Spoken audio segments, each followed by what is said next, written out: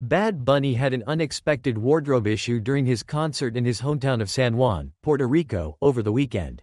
While performing his hit song, Perro Negro, one of Bad Bunny's backup dancers, Kiara Yumilet Rodriguez Saldivar, accidentally got the back of her tights caught on the front of the rapper's pants. Fan video circulating on social media shows Saldivar dancing up against Bad Bunny's crotch area, with the back of her tights appearing to snag on his pants for a few awkward seconds. The other backup dancers quickly surrounded the pair, shielding them from view as they became untangled. Once free, Saldivar was seen laughing off the incident, while Bad Bunny smiled and moved to another part of the stage to continue his performance.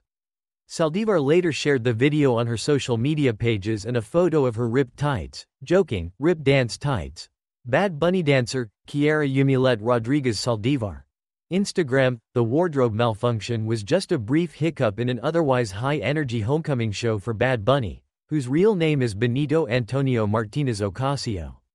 He performed again in San Juan the following night with no reported issues. Saldivar cheekily posted on Instagram before the concert on Saturday, See you tonight PR, with new stockings obviously. Bad Bunny's Most Wanted tour has included appearances by his on-again, off-again girlfriend, Kendall Jenner, who was spotted in the audience at his show in Orlando, Florida, last month. The pair, who dated for most of 2023, has sparked reconciliation rumors with recent sightings together, including leaving a Miami hotel over Memorial Day weekend.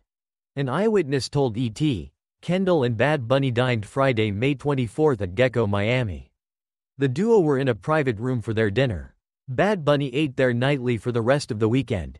In mid-May, a source close to the pair told ET that the love is still there between the member of the Kardashian-Jenner clan and the Titi Pregunto artist. Kendall and Bad Bunny are still in contact and spend time together when they can, the source shared at the time.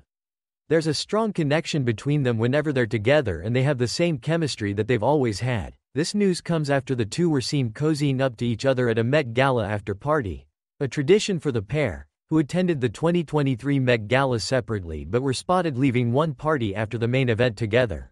They're having fun for now, but are hoping to figure things out in a way that makes sense, the source told ET after the 2024 Met Gala. They're not necessarily back together or an exclusive item, but there is definitely still a vibe between them. Neither of them feels any pressure and appreciate that they can enjoy space when they want. It's casual, easy, and comfortable between them, Kendall Jenner, Bad Bunny and guests at the Après Met 2 Met Gala after party hosted by Carlos Nazario, Emily Ratajkowski, Fran.